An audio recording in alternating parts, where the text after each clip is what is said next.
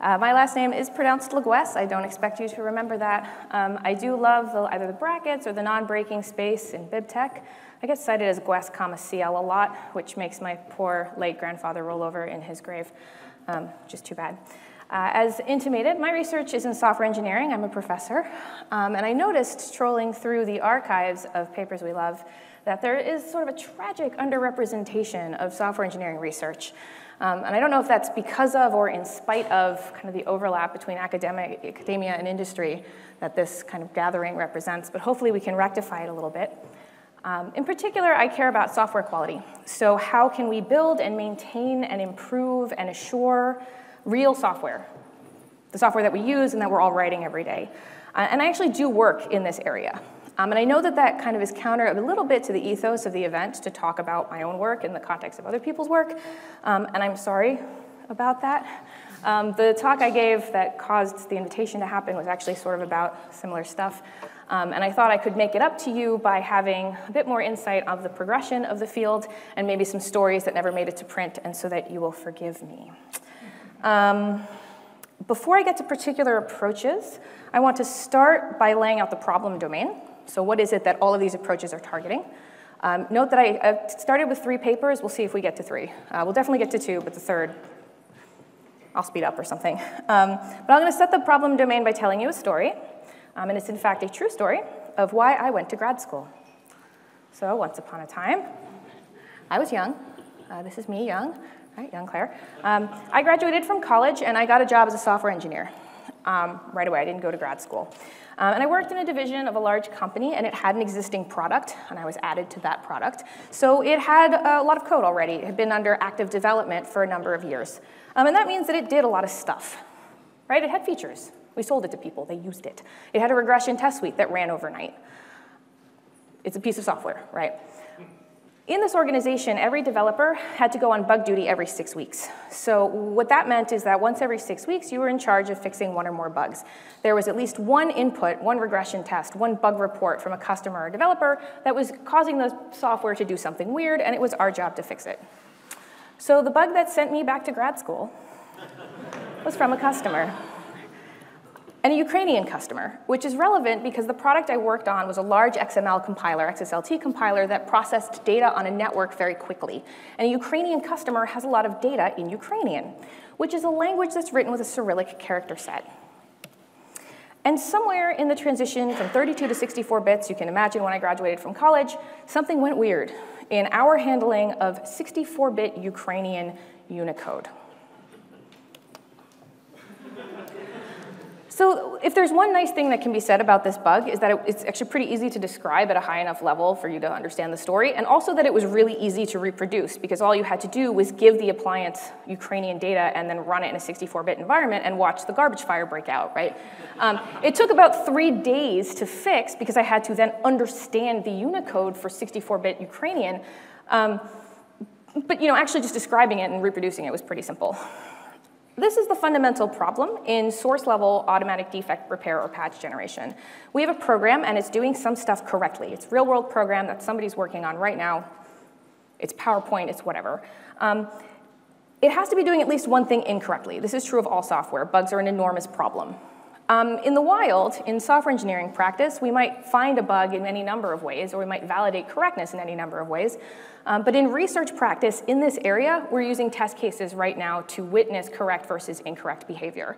So when I say it's doing something wrong, I mean that there's a test case that it's failing, but we could tell if it was passing.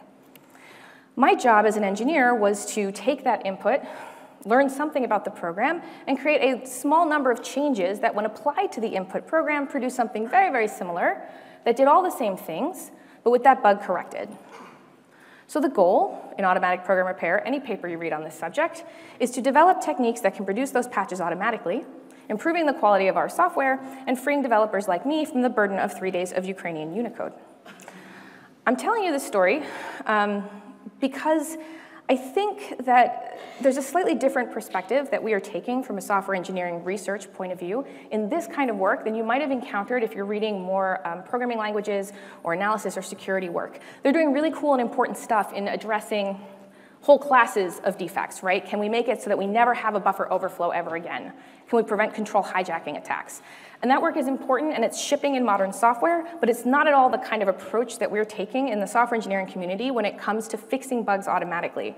Here we have a much more general developer-facing use case. There is a bug, it is bad, and I want it fixed. I couldn't tell my boss, no, I'm sorry, I only fix buffer overflows, and this doesn't look like one, right? I said, I've got a bug report and I want it fixed. So this area of research has had quite a bit of attention in the last five to 10 years especially, um, and there's a wide variety between the different approaches that have been proposed. Uh, but from 30,000 feet, they're all basically the same. Um, they follow the same three steps to try and patch a bug.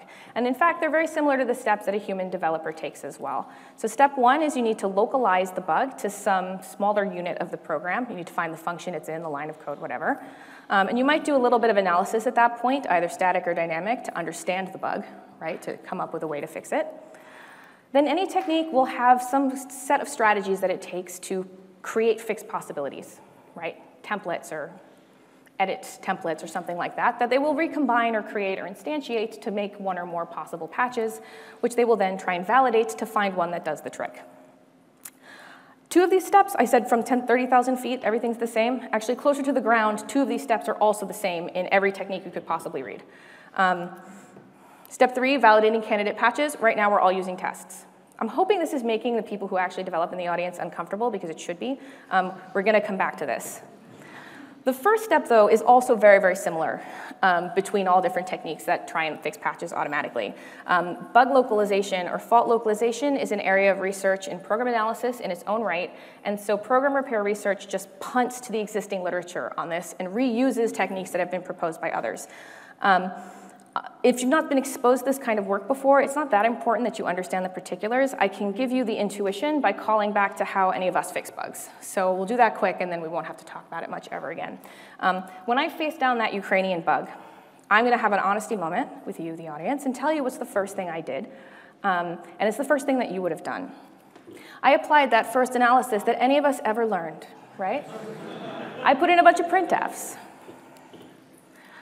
And I did that because if you run a program full of logging on its test cases and look at the output, you can just see what was executed, right? And that tells you something. Because if something's executed on the failing test case but not the passing test case, then maybe the bug is near there. This is more or less what spectrum-based fault localization techniques are doing, um, except automatically and with significantly better math. They take the program in its test case, they run it, they see what's executed, and then they do some computation to figure out which techniques, which pieces of the program are most likely to be associated with the bug. So that's nice because it gives you pieces of program and like a numerical ranking or a numerical score indicating bugginess. And we just use that because we can only solve one problem at a time and they are working on it, which is good. So the real variation here is actually in the second bullet, um, where we come up with different ways to try and change the program. Um, from 10,000 feet, I said it from 30,000 feet, they're all the same. From 10,000 feet, the techniques in this space split into sort of two conceptual threads. And the first two papers I listed um, to go along with this talk are a prototypical approach from each of those threads, which is why I picked them. Um, the first set of techniques are what we call heuristic. They're also referred to as generate and validate, um, or even just guess and check approaches. We've got some kind of typically syntactic templates that will apply to the program. We'll generate a whole bunch of possibilities and then see if they work. Some of these are randomized techniques. The technique I'll be telling you about uses a stochastic element, but they, they, can be deterministic. The point is just that they don't use any kind of symbolic reasoning, and they construct many candidate patches.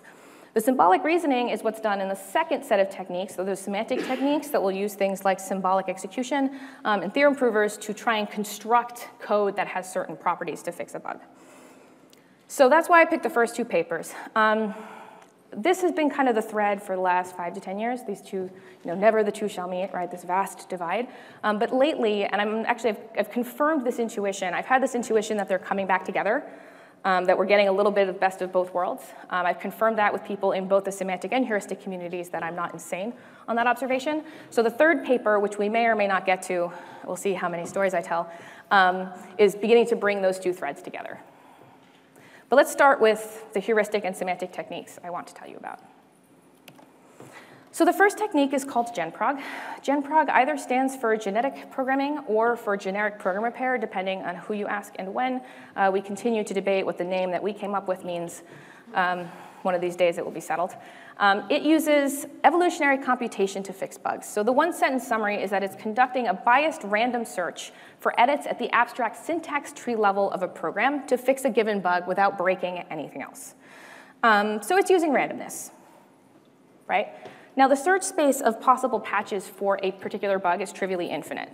Um, so the real goal here is to manage that search space and traverse it in a way that, that's tractable, right? And random search can be good for that kind of problem if you have enough domain assumptions that you can restrict the space in an intelligent way so you'll finish sometime before the heat death of the universe. Now, if you want to search for something randomly, you actually have a whole bunch of options available to you. Um, we've used genetic programming. That's what GenProg is using under the hood. Um, that's just the application of evolutionary algorithms to program source code where those evolutionary algorithms are based on the principles that underlie biological evolution. This is one of those algorithms that people get really religious about. Um, you either love it or you hate it. Um, I've had people yell at me in public because I use the words genetic programming in a talk like this, um, and it, really upsets people. Um, but the thing about genetic programming is that it's really just a kind of a reasonable strategy to take in this problem because we treat programs as trees and the literature on genetic programming has a lot of understanding of how to manipulate programs as trees and tree-based you know, uh, mutation and so on. So it's actually it's imperfect for a number of reasons, and I might highlight a few of those later, but we're just using it because its assumptions fit the problem domain, not because I'm religious either way on the subject. So you can yell at me if you want, but it's gonna have no impact on my behavior. Um, hasn't yet. So here's a diagram to show you roughly how this works. As usual, we have this input, right, program test cases. We need the passing test cases because we want to make sure we don't break anything. Again, we will come back to that. Um, evolutionary computation is a population-based approach, so that means it generates a number of candidate solutions to the problem at hand. And then it iteratively refines and improves that population looking for a variant that actually solves the problem. So each candidate is evolved, is evaluated for its fitness to see how suitable it is, how likely it is to reproduce and make it to the next generation, to call back to our biological analogy. Um, in this context, again, how many tests does the patched program pass? The good ones are maintained for continued evolution and recombination. The really bad ones, like the ones that move variable out of scope, for example, that don't compile, are discarded. And we're looking for something in a reasonable amount of time that causes the program to pass all of the test cases. The nice thing about manipulating a program at the abstract syntax tree level, as you'll see, is that we'll never make a program that doesn't compile for syntax reasons, um, but we may move a label to a place where it has a redundant label, for example, at which point the, there, there are actually ways to make GCC complain that aren't just syntax. Um, you can preclude most of them, but the nice thing about manipulating programs at abstract syntax tree level is that we avoid a whole lot of compile compilation failures, which is good. So the particulars as they fit in this framework are that GenProg is localizing defects to statements. And by statements, I mean the grammar non-terminal in the C programming language. I'll show you what this means in a second. And then uses that genetic programming to traverse the space of statement level edits that reuse code from within the same program to try and fix the bug. So to spare you more text, I'll just show you what I mean. Um, here's a program. It's not the same program as was in the paper. It happens to be shorter and fits better on a slide. Um, it is an implementation of Euclid's greatest common divisor algorithm. Spoiler alert, it has a bug. Um, in particular, if you give it a being zero, it will loop forever. And we can show you this by testing it. Um, so on regular inputs, it does the appropriate thing, right? It prints out two and then it exits. And we get bigger numbers, right? Oh, look, it's succeeding. But if we give it that first number being zero, it will print out the right answer and then it will loop forever. And the reason it's looping forever is because if you subtract zero from b forever, uh, b will never change. Now this is easy to fix, right? We just put a return statement between lines three and four, but it's you know, helpful to illustrate what we're trying to do with GenProg, so I will show you what I mean. It's also the first bug we ever fixed with GenProg, actually. Fun fact. Now, the more theoretically minded will tell me, but Claire, how can you tell that the program's not, the program is not going to halt, right? I hear there's a problem with that. Um, and I say yes, but I might have a quality requirement on my computation of greatest common divisor that says it should take fewer than five minutes to come up with a reasonable answer, at which point I can impose a timeout. And then it can still fail that test case, right? It needs to print out the correct answer and conclude. Now you may think I'm nuts for this, but I will point out that the original implementation of make node on Unix systems actually computed the greatest common divisor uh, between two numbers to um, figure out the appropriate block size. Um, cat did as well, so I'm not completely bonkers. But really, the reason we use this is because it fits on a slide. So. So the first thing I said is that we're doing everything at the statement level. So that means that the program internally looks something like this. This is the level at which, the granularity level at which the program will be modified. So this means that GenProg is not trying to change things like the conditions inside the expression checks, the guards on the if statements or the loops. Um, it won't try and modify individual variables, but it will be moving statements around at roughly this level of granularity. And we do that because it reduces the number of possible edits, making that search space a little bit more tractable while still being relatively expressive. We use off-the-shelf fault localization to identify which regions are most likely to be associated with the bug. This further reduces the search space and biases it towards the code that's most likely to be buggy. So I've colored the red blocks here are the ones that are only executed by the failing test case. The green ones we're never going to try and change because the failing test case never executes them, so why bother? So I had some drama with myself um, when preparing this talk because a key consideration when you're applying search to a new domain like this is how you represent candidate solutions. What is the thing in this box?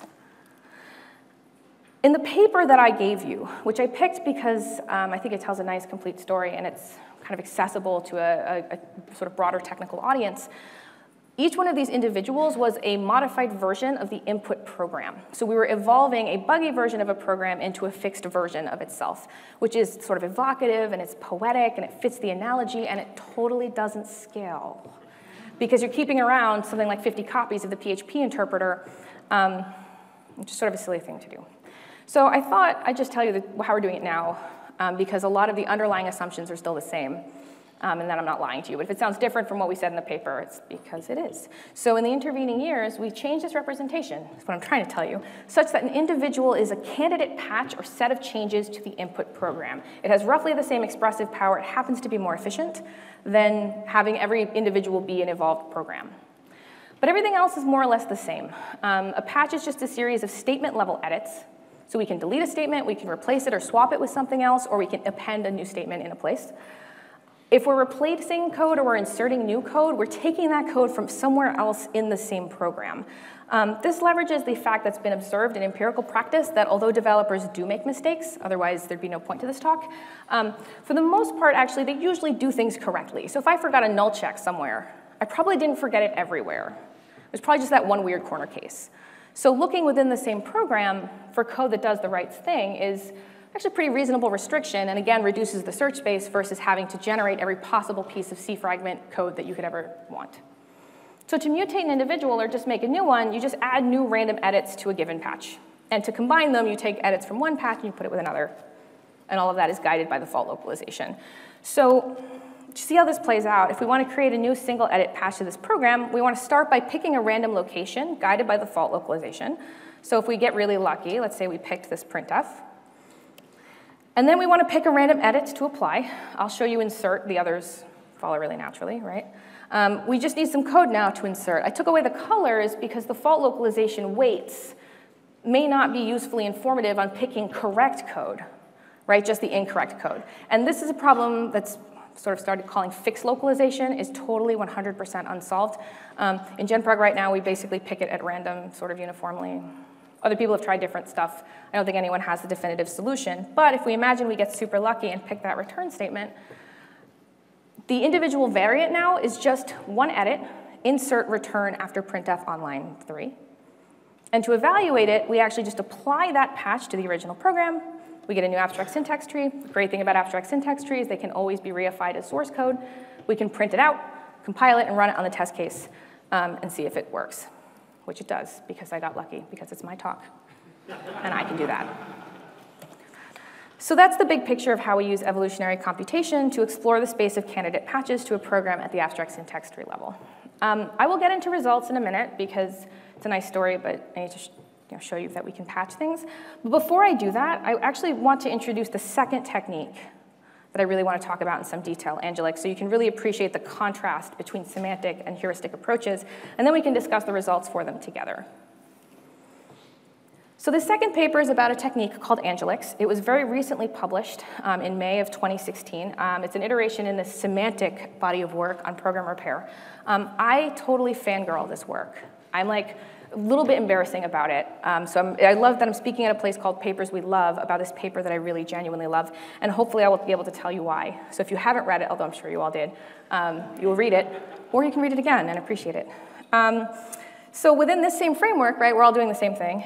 Angelix is also localizing based on test cases, but there are a couple of key differences. Um, the most important one being that Angelix is localizing the bug to expressions. And not just any expressions, actually, but just the right-hand side of assignments and conditionals. I'll show you what I mean.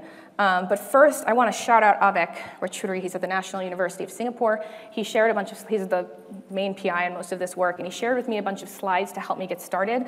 Um, this made my life way easier because animating symbolic execution in slides is, is really, frankly, tedious.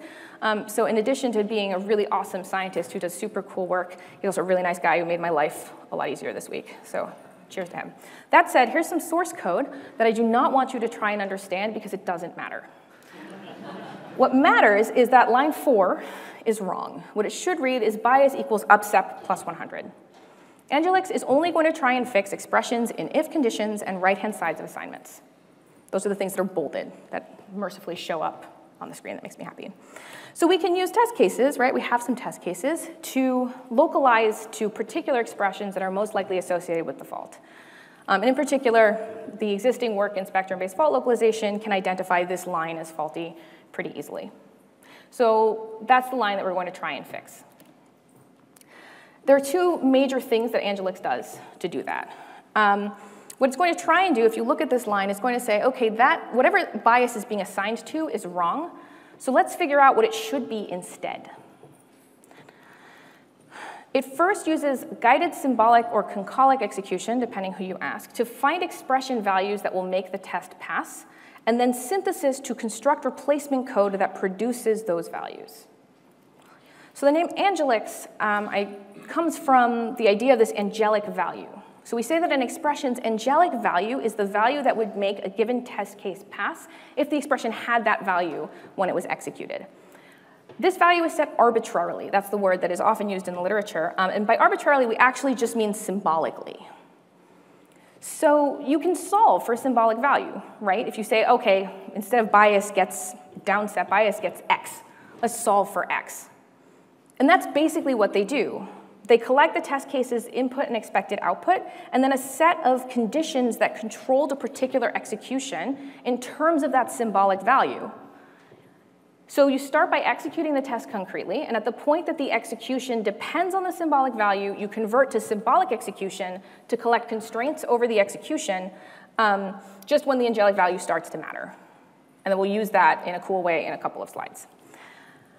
I'll show you the intuition on a single expression and a single test case. Um, one thing that makes Angelix awesome is that it can reason over multiple expressions at the same time, um, but the intuition generalizes from one, so I'll just show you one because it's easier. So if we set bias to, let's say, alpha, and we worry about just one test case, which is what we're doing here, um, we're going to start executing the code on this test case. So for the first three lines, nothing changes from the concrete execution um, because it can just be executed concretely because everything has a concrete value. But when we get to line four, now all of a sudden we've entered the symbolic world. Bias doesn't have a concrete value, it has this arbitrary value. The path condition so far that has controlled this execution is just true because the condition on line three concretely evaluated to true.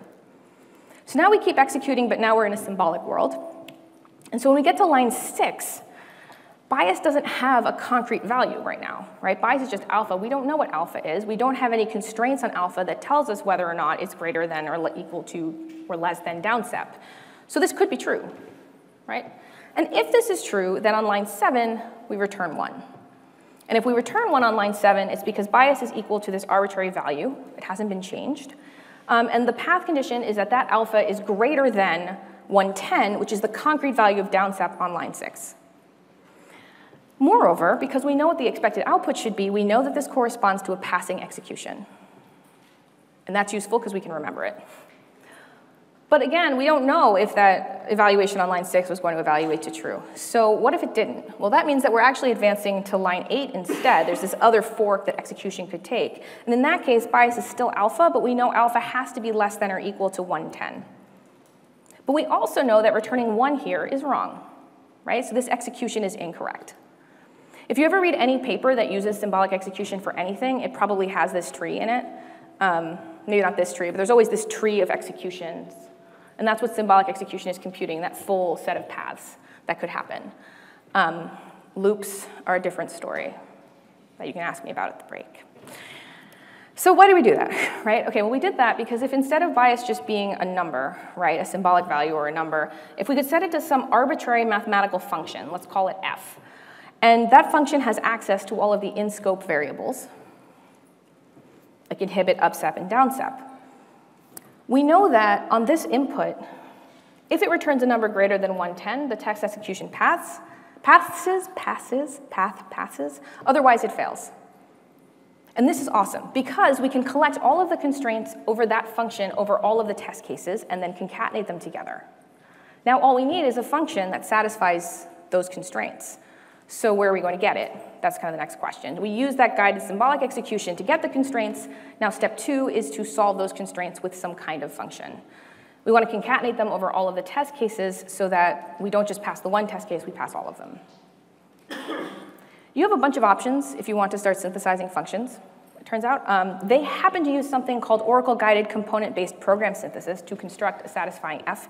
It's a mouthful, and it takes me about a lecture, which is an hour and 20 minutes in my grad seminar to explain how it works for program repair. So I'm not going to do it in detail. I will just give you the intuition. So the idea here is that we have a fixed set of functions or operators, so maybe plus, minus, multiply. Maybe we have a couple more. Maybe we've encoded some of the libraries in the standard C library, right? But like, we just have a fixed set of operators, and those are the components. And we're going to synthesize code. We're going to construct our query to an SMT solver in a very particular way that is only allowed to use those operators, and it, it needs to combine them in a way that satisfies the constraints imposed by the test cases. That's the Oracle-guided part. So in this example, um, this kind of synthesis can totally handle it. Um, it will return a function that looks like this, upsep plus 100 would satisfy those constraints imposed by the test cases.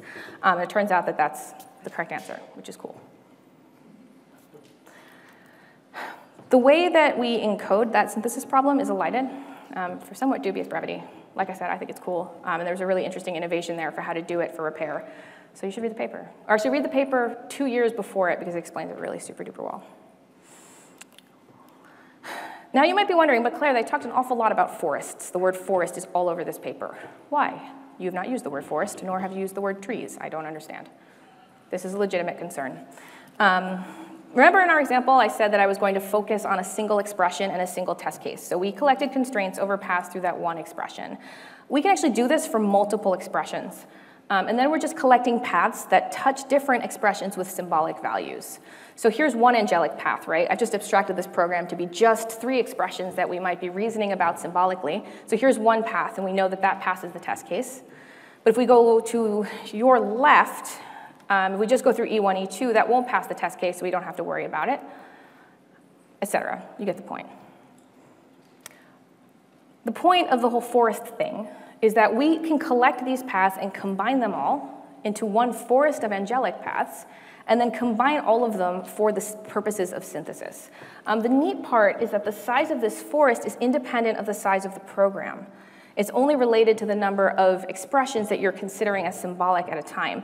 Um, so this is an instance in which we've modified reasoning so that it's only reasoning about the increment that we're working on, right? We only care about the change in the behavior and not the behavior of the entire program which means that we've taken synthesis, something that historically can only apply to very small programs, and made it be useful in the context of a very large program.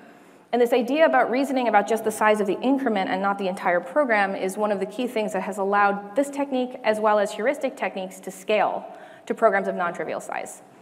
Um, it appears basically in all kinds of places in program repair.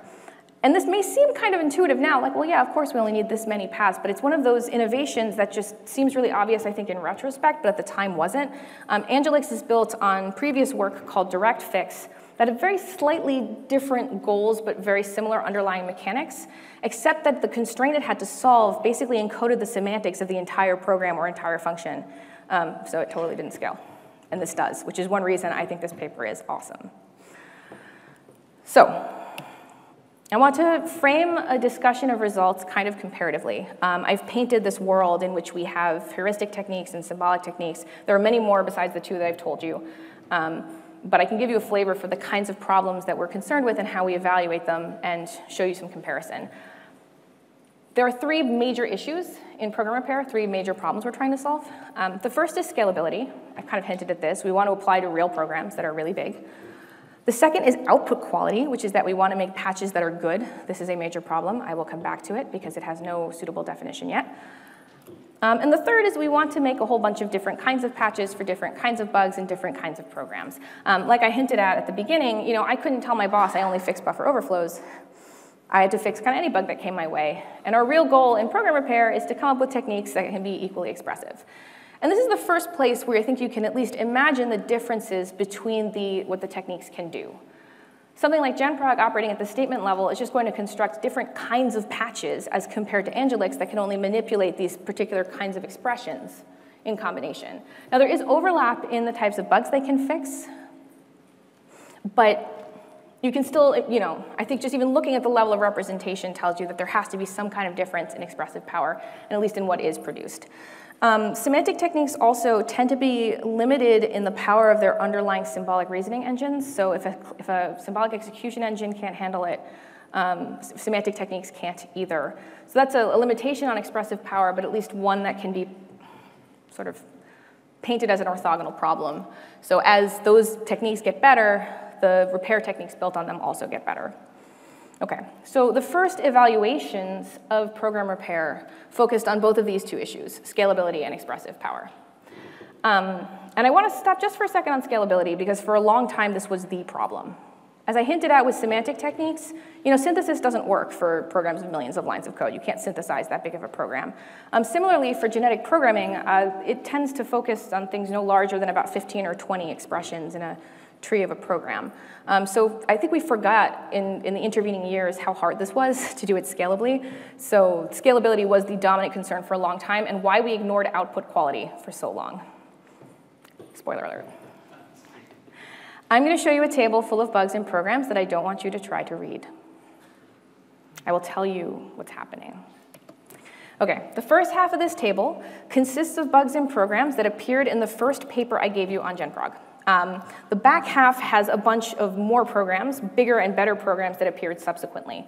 The approach here to evaluate was basically to troll places like Bugtraq um, and bug databases to try and find a variety of bugs in a variety of different kinds of programs and show that GenProg could fix them. So there are many programs here, right? Um, they have a bunch of different kinds of bugs, and the whole point is that GenProg could fix them in about under seven minutes on average, which was super cool. We fixed them, hooray. Um, now this is the evaluation in a lot of papers in program repair. I'm picking on myself, but I'm picking on everyone else too, because this is what we did for a long time. Say, we have a technique, it can fix bugs, here are bugs that we fixed. But it never really satisfied anyone. Um, I give talks like that with tables like that, um, and inevitably after the talk, someone from the back of the room would come up to me and say something like, okay, that was super cute. That part was either implied or, or actually said. But you know, what if I actually, you know, I'm a real human who works on real code. What if I gave you the last 100 bugs my real developers had to deal with? How many could GenProg actually fix? Which is a really good question, because maybe I just showed you the only 18 bugs that GenProg's ever made patches for, right? and you have no way of knowing that, and I'm trying to be a good scientist. Um, so this kicked off an 18-month period of my life of drama, and I, I don't think I realized how sort of how much confession I would be doing in this talk, but it's still true. 18-month um, period of my life where I, we were constructing a data set to answer this question which at that point totally did not exist. I want to tell you about the data set really, really quickly, um, just to give you a more complete picture of the way we've been evaluating this and the kinds of numbers that GenProg puts up, um, but also because subsequent papers in this space often use the same scenarios that we constructed in that data set for the purposes of comparative evaluation. So if you read the Angelix paper, you'll have noticed that they evaluate on a subset of some unnamed data set that was cited somewhere in the middle of the bibliography, and you probably didn't read it because why would you? Um, that data set grew out of the data set that I'm telling you about right now. So to understand where those bugs came from, you need to understand the drama of my life. So we just wanted a big set of important bugs in real programs that was indicative in some way. Um, and so we want to just get like the last 100 bugs or whatever that were fixed in a bunch of open source programs and see how many we could fix under controlled circumstances. Um, this was actually just pre-GitHub, um, which means we were actually trolling SourceForge a lot which at the time, people were like, oh yeah, SourceForge, and now they look at me like I'm nuts. Um, most of the projects we studied, actually most of the projects you'll see in the next table have, have moved to GitHub since. Um, but that's where we were. We were on SourceForge, and we started with a bunch of projects today, and then we just went back in time through source control looking for commits where test case behavior changed. And that gave us about 105 bugs. This has since been got up to 185 that we then tried to fix under controlled circumstances. I'm about to show you another table I don't want you to read. Um, these numbers are a little bit old, um, but just we took this historical approach and we showed that under controlled circumstances, and this is pretty consistent, GenProg fixes about half the bugs you throw at it, and it does so in a reasonable amount of time. We did this um, on early EC2, and I have some hilarious stories about that. I will spare you. Um, but we did that so that we could measure how much it actually cost and show that those costs were human competitive, which was the point of that evaluation.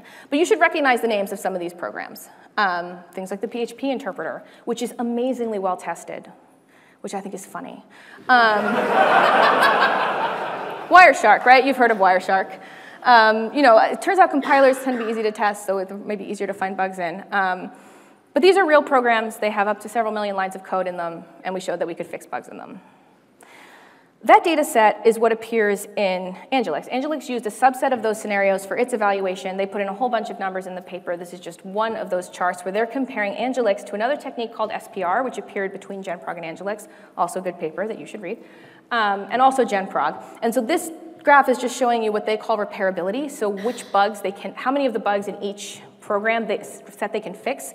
I don't really like this graph because um, it's normalizing the number of defects in each program. So there's way more PHP bugs, for example, than GMP bugs. There's only two GMP bugs, um, and I we're like 70-something PHP bugs at this point. But uh, you know, what they're telling you is that Angelix can fix a whole bunch of bugs better and more than other techniques can, and that message is still true, kind of regardless of the axes. And that's where those scenarios came from. So if you were like, why Wireshark? The answer is because I could find bugs in them in, in it in 2011. But then, at this point, because they were already winning, right? This is one of the reasons I love this paper. I, really love this paper. Um, they synthesized a patch for Heartbleed. I also love that bugs have logos now because it makes slides easier to make. Um, so they're like, hey, we fix all these bugs. We do it better than previous techniques. The, the patches are of higher quality than previous techniques. And also, let's synthesize a patch for a previously unautomatically repaired uh, vulnerability that everyone knows about, that has a nifty logo, and that everyone cares about, and they totally did. Um, it's a little bit different from the developer patch. If you stare at it for a bit, you can convince yourself that it's functionally equivalent. Um, it's really cool. It's really cool. Anyway, moving on. Um, so back to making strong statements. Um, scalability is basically solved. Heuristic techniques have been there for a long time. We started building that big data set of million line programs in 2011, um, and other techniques in that space have been able to operate them over them for a long time. Angelix takes semantic techniques up to about that level. It's not fully automated. You have to do some work to make your input fit nicely with it, but they showed that they could fix bugs at the same scale as heuristic techniques could. Um, and expressive power, we're still fixing a variety of bugs. I think this is still an open challenge, and it's something we're beginning to worry about more, but we're not as worried about it these days. Um, the thing we are worried about is repair quality. Um, this problem actually isn't unique to program repair, automatic repair. Um, you know, patches come from humans all the time, and we need to know if they're any good. Something like 20% of developer-produced patches are reverted, right? Humans also write garbage. Um, we just want to know if a patch is good, no matter where it comes from. Um, it's also not a new problem, and in fact, it's something that our concern with goes back to the start of our work in program repair. Um, and I have a bunch of really hilarious stories about the terrible things that go wrong when you start randomly changing like the Python interpreter on EC2. Um, but something I think that's more informative for this discussion actually goes back to the second bug we ever tried to fix with GenProg, so I'm gonna tell you about it. So the second, first bug we ever fixed was that GCD bug. Um, the second bug was in a 6,000 line, very bare bones web server called null HTTPD. Um, the version 0.5.0 had a remote exploitable heap-based buffer overflow in the handling of post. Somebody forgot to check that a user-provided input was greater than zero before calling malloc with it. Nice thing about it is you can write a failing test case really easily, spin up your server, run the exploit, check if the server's still running. If it's not, you fail. Neat. So now what we need is a bunch of passing test cases, and we can try out our prototype and see if it can fix the bug. So what does a web server do, right? A web server gets some stuff. So get index.html, you know, get not found.html. Okay, feeling pretty good. Audience participation time. What happened? We have a bug in post. We have a bunch of GET requests. We want to pass some test cases. Of course, that's what happened. it actually happened really quickly. yeah. Um, so we felt stupid, naturally, and we added a non-crashing post test case, and actually the prototype found a much better patch very quickly.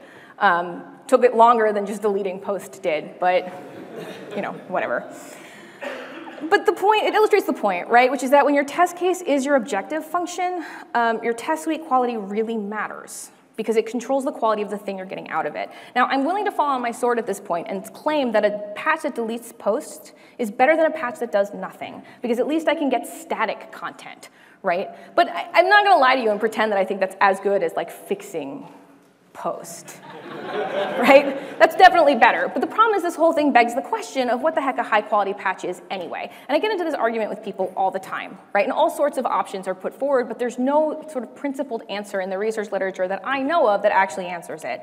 So one possibility is that we want our patches to be understandable by humans, right? That would be a good thing for a patch to have. Although I will point out that I had no problem understanding the post deleting patch, right? That wasn't the issue.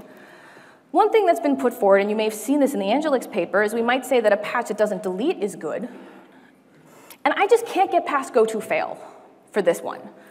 And notice actually that Angelix can't fix goto fail. That is a really bad bug that you fix by deleting a line. So I don't want to say that a patch, that a patch can't delete, because deletion is sometimes okay.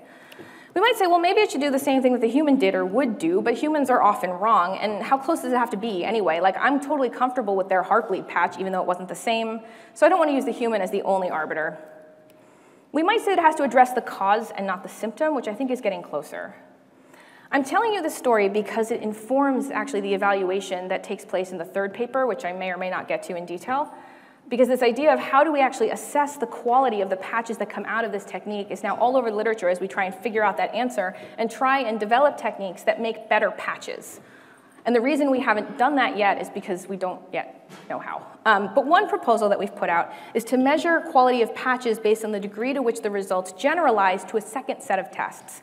So if you're, you know, in machine learning, when you're evaluating a model, you test it on a separate set of data than you trained it on to assess overfitting. So if you look at program repair this way, the tests that are used to build the repair are the training tests. I mean, this is classic machine learning. And then you could have a second set of tests to assess correctness. Let's imagine that we just had a data set of programs for which we had two test suites. We could then use that to evaluate the degree to which one technique makes better patches than the other, right? It would be super cool if it weren't totally impossible. And it's totally impossible because it requires two high quality full coverage test suites, and we don't even have one, um, even for PHP. So it's sort of a problem when it comes to evaluation. Um, we did come up with a data set that sort of gets at this. Um, we had a, I have a friend who's a professor at UC Davis, um, and they have an intro programming class where students can submit multiple responses to simple programming assignments to a Git server, where they're then run on some test cases and told the students, you know, oh, you passed five out of six, try again. So now we have multiple buggy versions of multiple programs, and because the assignments are really small, we can actually make two full coverage test suites for them.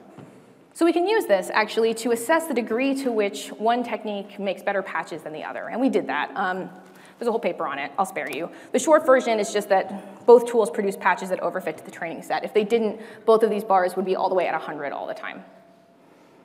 So this is one way we can reason about the quality of patches that are produced. It's a little bit synthetic because the programs are small, but at least we have a lot of them, I guess. Um, and I'm telling you about it so that you can understand the evaluation we do in that third paper. Fun fact before we get there, though, the tools actually did about as well as the freshmen did. Um, Freshmen also overfit. And some people say like, well, yeah, well, of course you do as well as the students, but like students have brains, so I felt pretty good about this. I really did. I'm an optimist. It's worth mentioning that this is not unique to heuristic techniques, um, sort of unpublished work. We looked at how Angelix does on this data set and found that um, the data set we've called this intro class because it's an intro class programs. They also overfit. Um, Angelix was looking at functionality deletion um, in their quality assessment. Like I said, deletion makes me uncomfortable, but it's kind of getting at the same thing. And they found that Angelix actually does a much better job of this on the patches that they looked at. And here, higher is worse. So the lower you are in the bar, the less functionality you're deleting. So I, one more thing worth mentioning on Angelix, I actually think part of this problem is really easy to fix because one observation we had was that um, what it's doing is synthesizing um, overly constricted uh, conditions on if checks. So they never do like a less than or equal to. It's only ever a less than, and so that's something you can fix with heuristics. That said, um, this is kind of sad, right? Because I've just spent 40 minutes telling you, hey, we're going to fix bugs in your programs by using test cases. And I told you to be skeptical of the test cases thing at the beginning, and I assume you were, but like still, I was telling you kind of a happy story. Um, and so maybe, maybe it's actually really sad. It's a sad story. Um, but I actually, I am, I am an optimist. I think it's not a sad story and that we have a bunch of options. So option one is to develop techniques that are more likely to generalize. So now that we have this one idea about how to assess at least quality experimentally, maybe we can use it to guide the construction of new techniques. So I'm gonna give you a 35 second summary of what happens in that third paper. The reason I'm going to do that is because that third paper starts to combine heuristic and semantic techniques with this goal in mind, which is why it was chosen as the third paper. In general, the way we want to try and do this is by challenging our assumptions, basically. Um, I want to pause for a second just as a scientist and admit to you, again, I'm being very confessional, that I've made an awful lot of assumptions in my work to date, and they've all been wrong. Um, one of them, and it's an assumption that sh is shared by many, many papers and techniques in this space, is that patches are like kittens, and smaller is better right? We want to make as few changes as possible. That's why GenProg has this patch minimization step at the end that I totally skipped in my explanation of it because it's boring. The idea is that patches should be short, right? And short patches are more likely to not do bad things. Angelix encodes this explicitly in its encoding of the problem space. It wants to make small changes. It's built on a technique that that's all it was trying to do. Everyone thinks this is true. The idea that, that's being pursued in that third paper is that what if instead of trying to make small changes, uh, we instead replaced entire regions of code that were buggy? Because if we did that, if maybe we replaced a function with a whole other function that was written by a person, we might be able to more correctly capture the overall desired logic. Humans who write blocks of code have a sense of what's going on. So the principle here is to use human written code to fix bugs at a higher granularity level and that that might lead to better quality repairs. So we're using symbolic reasoning to search for code at that higher granularity level. Symbolic reasoning to search, so semantic reasoning to generate a bunch of patches and see if any of them work, generate and validate plus semantic, and the story comes full circle. Um, I tell you more about that, but I'm running out of time and I'm already going fast. So instead I'll just say won't even tell you how it works. Doesn't matter. Point is, the patches are much higher quality. Win, which is good. Um, the problem is that we're back having a scalability problem, right? This is only on those small programs. So we're going back around in circles. And such is science. Oh well. So I actually don't think that we are in a sad place, right? I think that's not the place we're in. I think we're in a happy place. Um, I also really like this kitten, and I wanted to show her to you because she's cute. Um, the other option for how we might address this problem is to understand and reason about the circumstances under which perfection is not required.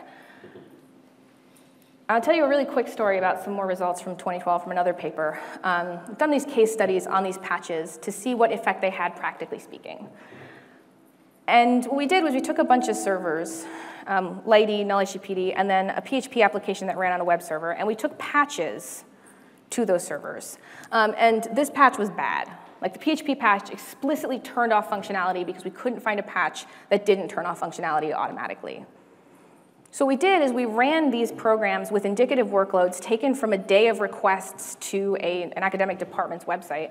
We patched them, and then we looked at how many of the requests were lost post-patch as an indication of how many indicative users would be affected by a patch in this context. Um, and the upshot, to give you one more table you shouldn't read, if you look at the last line, is that it totally didn't matter. It didn't matter. Like we turned off something that PHP previously did in string manipulation and nobody noticed. And nobody noticed, not just because PHP is ridiculous, because it is, um, but because bugs often happen in corner cases. Bugs happen in under-tested functionality that people don't use as much, because if people used it, they would have noticed the bug sooner and it wouldn't be there. So the reason I think this is a sort of a viable option is to try and understand sort of the user's needs, um, the developer intention, the common cases. When is it okay to turn off functionality? I don't want to punt and say that deletion is okay, but I think that deletion is okay sometimes. And this is an indicate, it's sort of a, a good example of why I think software engineering is worth studying. Um, something I thought was interesting that Mario started with in the last talk was saying, you know, algorithms and computer systems, absent their human users, or you, you can't study them that way, right? You need to think about humans. The reason I like software engineering is because it's programming languages and semantics and formal reasoning, but with the human involved. Um, and thinking about the user context and the developer intention can help us understand what we actually need our systems to do to be satisfied with them and when they are at an acceptable level of quality. Okay, so I will summarize. Um, I told you a story about myself in my youth, um, and I did that to motivate a high-level picture on how work in automatic program repair works. I told you about GenProg, it uses randomness to do it. I told you about Angelix, one of my favorite papers of all time, I'm not lying, um, which uses symbolic reasoning to do it. These two are indicative of techniques in two broad classes of program repair. So if you read papers, they probably fall into one of these two categories. I told you about a big data set that we've used to evaluate all of these techniques. And then I talked about how tragic uh, the quality problem is. And if any of you have an idea of what a good patch is, I spend a lot of time asking people when I meet software engineers, what's a good patch? I'm like, okay, when you're reviewing a pull request, what are you looking for? Come tell me, because I really want to know. Um, and then I put a picture of a kitten because I'm a millennial and I cannot help myself. and also, she's cute. So that was a lightning fast introduction. I am at 49 minutes and 33 seconds, and they told me 50, so I'm feeling pretty good about myself. And I think that we have time for a few questions. So fire away.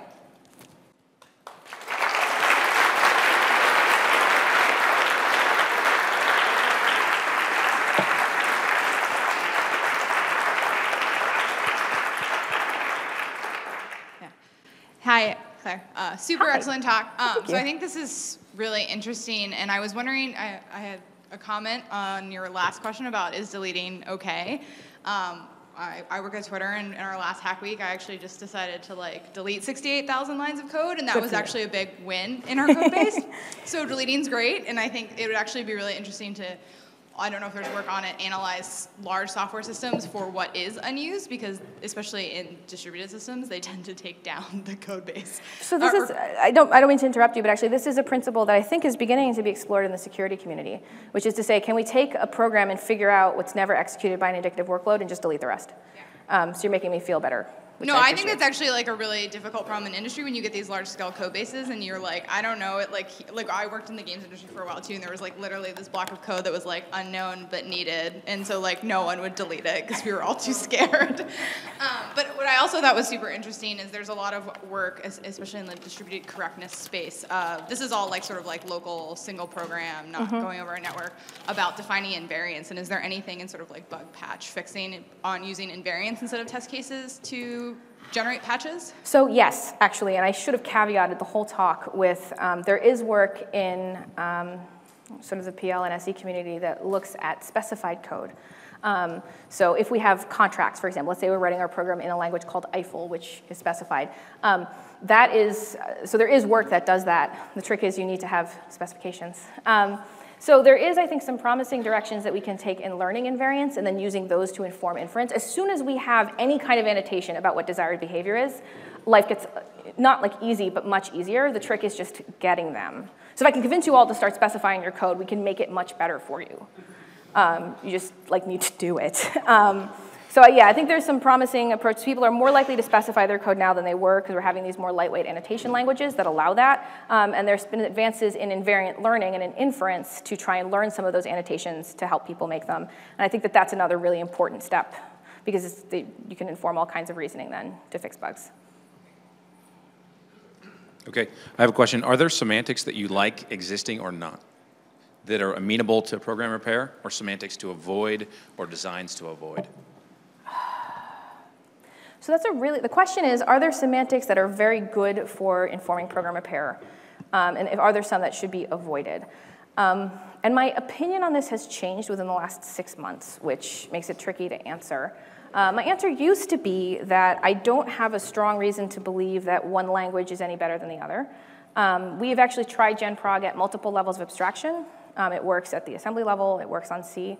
Um, but I'm beginning to see as we're trying to apply it to Java for various reasons that the modifications that work in C don't work nearly as well in Java um, because Java's compiler cares, basically, about what you do. And that means that it's, it's harder to, it's less mutationally robust is the phrasing we would use, um, to random changes. And so it's harder to evolve a set of changes that are legal. If you think about it, in Java, if you have code after a return statement that's dead, um, it won't compile but maybe you randomly inserted that return statement because you're trying something, and if you just had that return statement and not the dead code, the fix would be good. So in this framework of evolving changes, right, maybe what we want to do is insert the return and then delete the dead code, which is something we know how to do all that, right? I'm just saying that like the framework of these statement level modifications doesn't necessarily port directly between languages that have stronger, let's say, static semantics. Um, which I think just means that we need to reason about those semantics as we think about the modifications that are legal. In some respects, the fact that C's compiler lets you get away with murder makes it easier to fix. Um, but I don't want to encourage a universe in which we're just writing everything in C because I don't think that's the solution. Um, I think the solution really is to think about the implications that stronger or different semantics have for the kind of modifications that are performed on code and use that to inform a system that selects or instantiates different kinds of fixes. So the answer is no, but I think it matters. I'm kind of language agnostic, actually.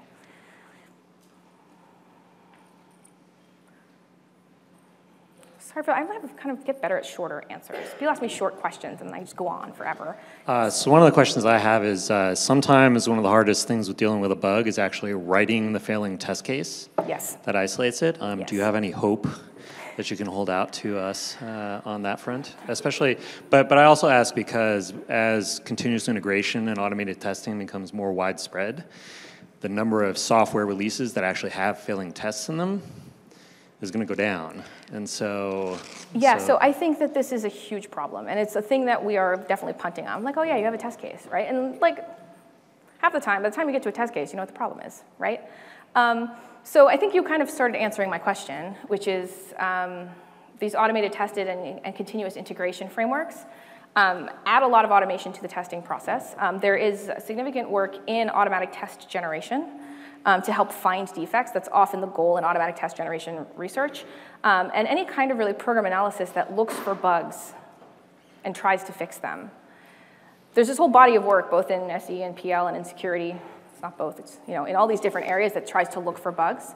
Um, the trick is, can we convert those into inputs that are suitable for this kind of technique? So some of that will involve changing these techniques to take different kinds of inputs, but some of it's also just an integration problem. So I think there is hope. Um, I don't think we'll ever get rid of the need for developers.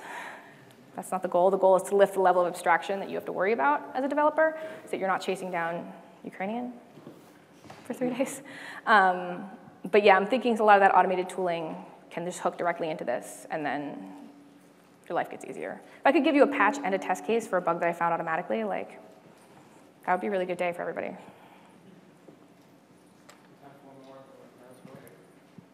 Question.